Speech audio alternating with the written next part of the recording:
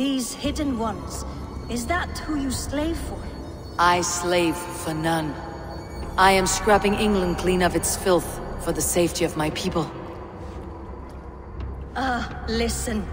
Do you hear? The excuses of a mind enslaved.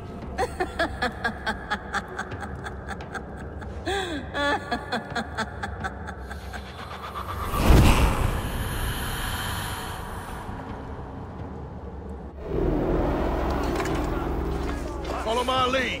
Ha!